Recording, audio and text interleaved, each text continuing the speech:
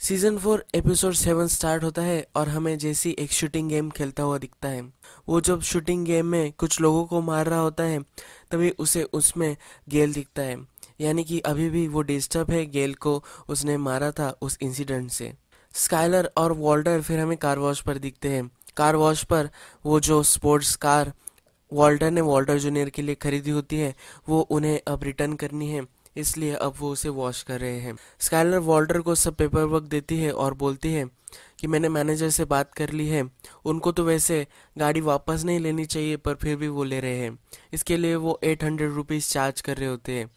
Walter बोलता है कि ये बहुत ही कम माइल्स चली है और हमने सिर्फ़ दो ही दिन इसको रखा था। फिर भी वो इतना ज़्यादा चार्ज कर रहे हैं। स्काइलर बोलते हैं कि उन्हें तो वापस भी नहीं लेना चाहिए। और वो वॉल्टर को वार्न करते हैं कि तुम जो मैनेजर है, उससे अच्छे से बोलो। अब वॉल्टर को गाड़ी तो रिटर्न करनी है तो क्यों ना उसका मज़ा लिया जाए? इसलिए वॉल्टर गाड़ी ड्रिफ्ट करता हुआ हमें दिखता है। वो एक एयरपोर्ट के पास जो ड्राइवे होता है, पार्किंग जो होती है, वहाँ जाकर बहुत ही फास्ट ड्रिफ्ट कर रहा होता है। तभी उसका ज़रा कंट्रोल चला जाता है और वो गाड़ी का थोड़ा सा एक्सीडेंट हो जाता है। वो डिच में चली जाती है। फिर वॉल्टर को, अब इससे डील नहीं करना होता तो वो एक पेपर लेता है वो गाड़ी के ही पेपर होते हैं। वो गाड़ी के पेट्रोल टैंक में रखता है और उसको आग लगा देता है। थोड़े डिस्टेंस पे जाकर बैठ जाता है और टैक्सी वाले को कॉल लगाता है। तो बोलता है कि मुझे राइड चाहिए। फिर वो हमें सॉल के पास दिखाया गया है। ये जो गाड़ी वॉल्टर ने फोड़ी है तो इसका जो सब काम है, इसका जो सब क्लीनअप है, वो सॉल्व कर रहा होता है। सॉल ने ये गवर्नमेंट को पता चलने से पहले ही सब क्लीनअप कर लिया हुआ होता है। तो इसके लिए वो वॉल्टर से फिफ्टी थाउज़ेंड डॉलर्स लेता है। वॉल्टर को इससे कुछ भी फ़र्क नहीं पड़ता। वॉल्टर सॉल से बोल रहा होता है कि, गस, मुझे अब मार ही देने वाला है। उसने जेसी को भी उसके काम के लिए लगा लिया है। फिर वॉल्टर सॉल से बोलता है कि, मुझे एक हिटमैन का नंबर चाहिए। वो गस का कॉन्ट्रैक्ट एक हिटमैन को देने वाला होता है। सॉल उसे बोलता है कि, अगर मैंने तुम्हें हिटमैन का नंबर दिया तो मोस्ट लाइकली वो माइक को पता होगा और उन्होंने अगर बात की तो हम सब ट्रबल में आ सकते सॉल के पास जो भी नंबर होते हैं, वो सब माइक ने दिए होते हैं। तो सॉल उसे सजेस्ट करता है कि हम आउटसाइड पार्टी पर जाएँगे, पर ये बहुत ही रिस्की हो सकता है। माइक फिर वॉल्टर को सलाह देता है कि अगर तुम उसके पास नहीं जा सकते तो तुम जेसी को तो भेज सकते हो। फिर वॉल्टर जेसी को मिलने आया हुआ होता है। वॉल्टर जेसी से पूछ रहा होता है कि तुम गस से कब मिले थे? फिर वो उसे बताता है कि माइक के साथ मैं डिनर कर रहा था, तब मैं तब मैं उसे मिला था। वॉल्टर पूछता है कि क्या तुमने उससे बात की? तो जैसे बोलता है कि थोड़ी सी मैंने उससे बात की थी। जैसे बोलता है कि वो मुझमें पोटेंशियल दिखता है। फिर वॉल्टर बोलता है कि वो जो गेम खेल रहा है, उसे क्या लगता है कि तुम्हें पता नहीं चलेगा? फिर वॉल्टर उसे याद दिलाता है कि गेल को तुम्हें मारना पड़ा। वो गस की वजह से ही था। जब गस ने तुम्हें बताया था कि अब वो स्ट्रीट में छोटे लड़कों को नहीं यूज़ करेगा, तभी उस दिन तुम्हारे गर्लफ्रेंड के ब्रदर को उसने मार दिया। ये सब उसे वो याद दिला रहा होता है। फिर जैसे बोलता है कि तुम्हें मुझे इतना सेल करने की ज़रूरत नहीं है। नेक्स्ट चांस मुझे जब मिलेगा, तब मैं उसे मार डालूँगा। नेक्स्ट सीन में कार वॉश पर स्काइलर और मरी होते हैं। मरी उसे बोल रही होती है कि हमें ग्रैंड ओपनिंग करनी चाहिए।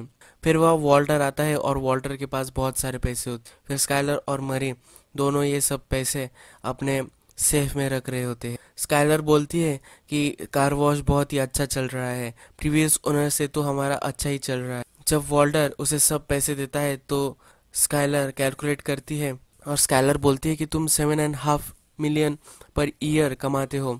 तो इतना हम इस कार वॉश में मनी लॉन्डर नहीं कर सकते। मुझे नहीं लगा था कि तुम इतना कमा रहे हो। वॉल्टर बोलता है कि तुम्हें ये कार वॉश चाहिए था। तुम्हें अब वो मिल गया है, तुम लॉन्डर करने का जो भी है तो वो संभाल लो।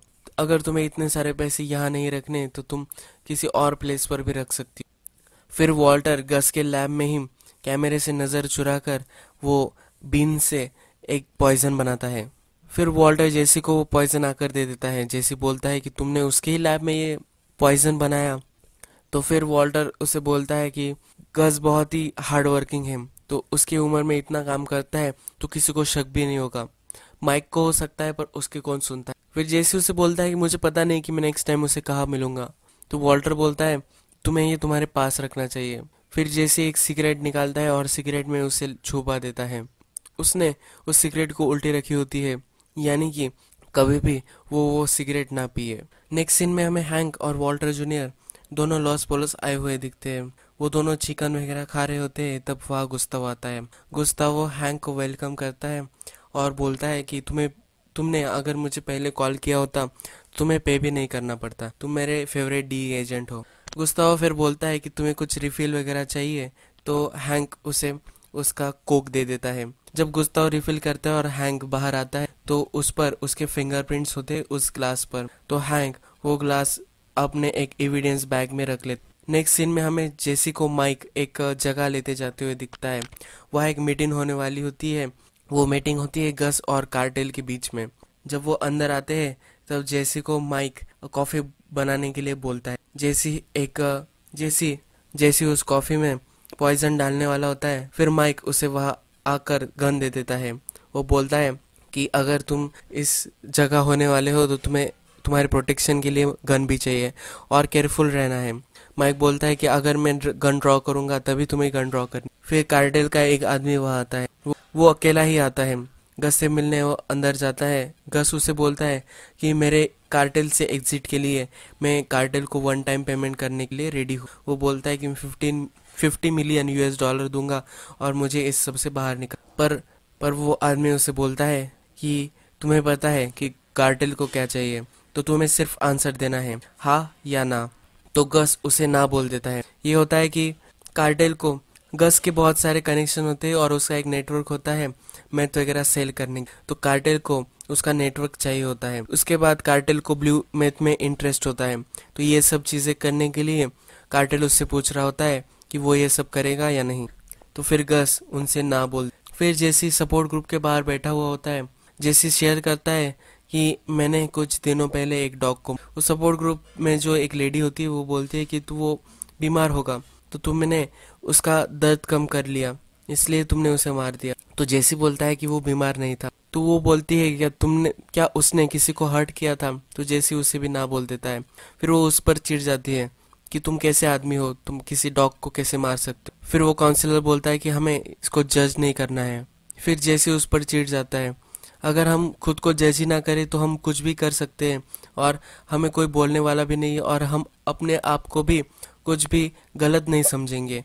ये बहुत ही गलत है। वो उसके काउंसिलर से भी बोलता है कि तुमने अपनी बेटी को कुचल दिया, फिर भी तुम्हें अच्छा लग रहा है, यह ऐसा कैसे हो सकता है? तो काउंसिलर उससे बोलता है कि अब तुम्हें शांत हो जाना उसके बाद वो बोलता है कि मैं यहाँ हूँ, इसका रीज़न भी ये है कि मुझे तुम्हें मैथ सेल करना था। फिर यही ये सपोर्ट ग्रुप खत्म होता हुआ हमें दिखता है। लैब में वॉल्टर जैसे होते तो वॉल्टर उससे पूछता है कि क्या तुमने गस को देखा था?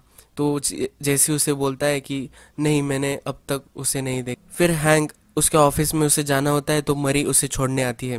हैंक उसका पार्टनर और उसके जो बॉस होते हैं, उनकी ये मीटिंग होती तो हैंक बोलता है कि, मुझे एक केस आया था। ये एक मर्डर केस था गेल का। ये जो गेल था, ये ब्लू मेथ मैन्युफैक्चर करता था। ये बहुत ही इंटेलिजेंट था। फिर गेल के केस में मुझे एक चीज़ मिली। कि गेल एक विगन था। वो विगन रहने के लिए बहुत सारे एफर्ट करता था। तो उसके पास ये लॉस पोलोस का रैपर कैसे आया? उस रैपर पर एक सीरियल नंबर लिखा था। तो उस सीरियल नंबर को मैंने ट्रैक किया। वो जो एक इंडस्ट्री के लिए फिल्ट्रेशन सिस्टम होता है, उसका एक सीरियल नंबर था। फिर मैंने जो अपने एरिया में जो ये फिल्ट्रेशन सिस्टम सेल कर सकते हैं, उनको कॉल किया। फिर फिर मैंने पता कर लिया कि गेल बेडिकर ने ये साइन किया था जब वो उसके पास आया था तब। फिर फिर हैंग बोलता है कि फिर मैंने पूछा कि इसको पे किसने किया था? फिर वहाँ से कुछ भी रिकॉर्ड उसे नहीं मिल रहा होता। नेक्स्ट टाइम जब वो फिर से कुछ कोशिश करता है तो उससे एक लॉयर का फ़ोन आता है। वो उससे उसका बैच नंबर वगैरह सब पूछ रहा था। फिर फिर हैंग बोलता है कि मेरी इन्वेस्टिगेशन यही खत्म हो गई।